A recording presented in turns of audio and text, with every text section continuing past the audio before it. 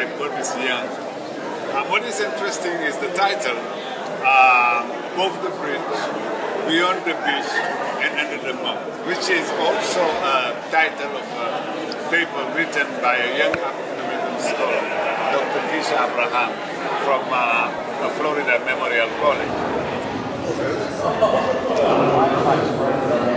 Purvis was always in the quest of freeing people from aesthetics.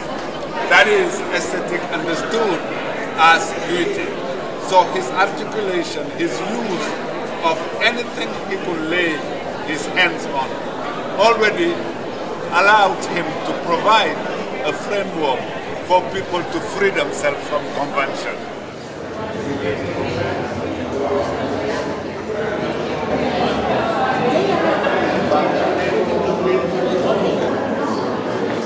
The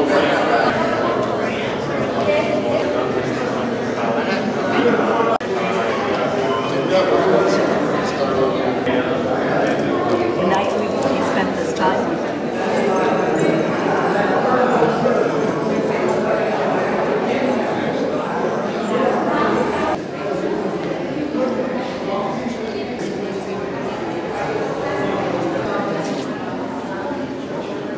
How you doing? You good?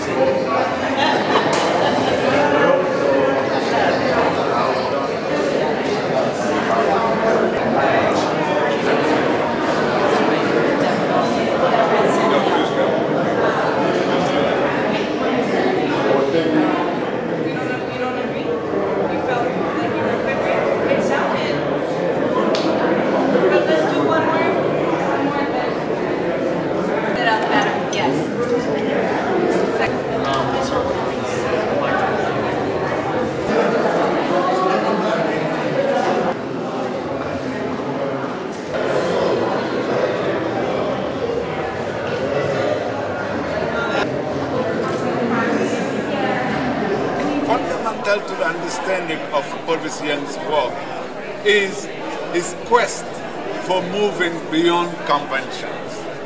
This is important because as conventions have always framed black people in the United States um, from not worthy of human definition to not worthy of knowledge to not worthy of production of art. Purvis is responding to those. By now dismantling the whole epistemological framework of aesthetic by saying, no, I'm going to free you because beauty doesn't matter compared to meaning. That's why at the Museum of Contemporary Art, it was very important for us to organize this exhibition, both for Black History Month, but also for, to celebrate people that have believed him, in him people who were intelligent enough to understand the avant-garde nature of this artist from over time.